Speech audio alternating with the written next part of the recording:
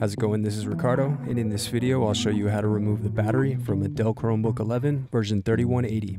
If you're looking for parts for this laptop, go to our website and use this coupon for a 5% off discount.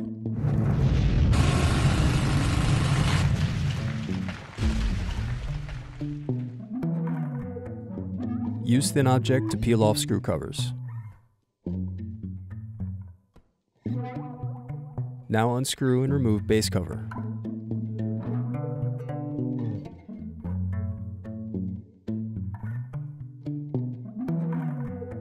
Then unscrew and disconnect battery.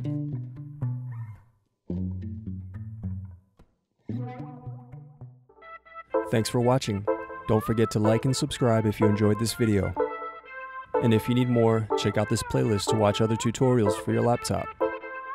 You can also click here to find parts for your laptop at partspeople.com.